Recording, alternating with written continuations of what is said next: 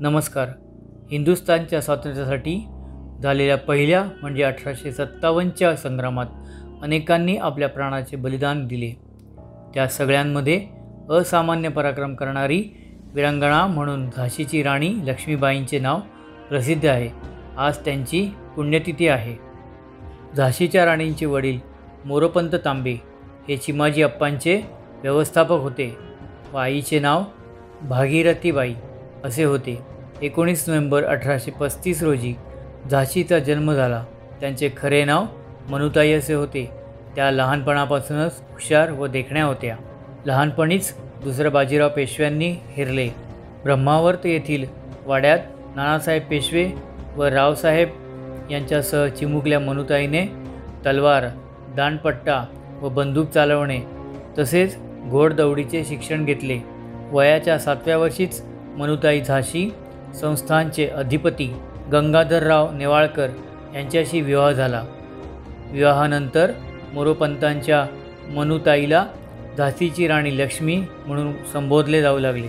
अठराशे चोपन्नमध्ये ब्रिटिशांनी झाशीचे संस्थान खालसा करून टाकले. झाशी खालसा झाल्याचे वृत्त ऐकताच राणी लक्ष्मीबाई चौताळल्या त्यात ब्रिटिश अधिकारी मेजर एलिस लक्ष्मीबाई यांना भेटण्यासाठी आला. त्यावेळी संतापलेल्या झाशीच्या वाघिणीने एलिसवर मेरी झाशी नाही दुंगी अशी डरगाळी फोडली. इंग्रज एका पाठोपाठ एक एक संस्थाने बरखास्त करत होते व त्यांना सर्व भारताचा कब्जा करायचा होता. पण भारतीयांनी या उपक्रमाला अठराशे सत्तावन्नच्या उठावाच्या रूपाने विरोध करण्यास सुरुवात केली.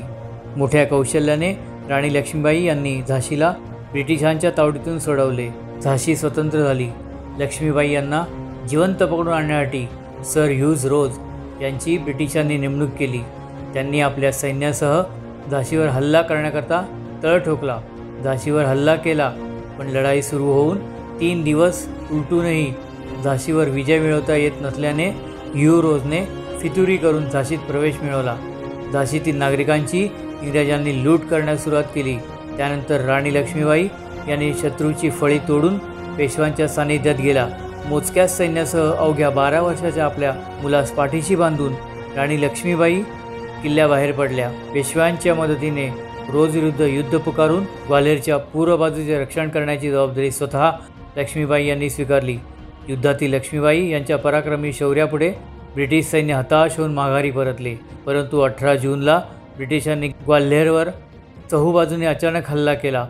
तेव्हाही त्या ब्रिटिशांना शरण आल्या नाहीत. शत्रूची फळी फोडून बाहेर जात असतानाच त्यांच्या मार्गात एक ओढा आडवा आला. त्यावेळी त्यांच्याकडे त्यांचा राजरत्न घोडा नसल्यामुळे त्यांनी दुसरा घोडा घेतला होता. पण तो घोडा ओढ्याजवळच गरगर फिरू लागला. ओढ्यापाशी राणी लक्ष्मीबाईला इंग्रजांनी घेरले. तिथे इंग्रजांशी लढत असताना राणी लक्ष्मीबाई रक्तबंबाळ होऊन घोड्यावरून खाली कोसळल्या.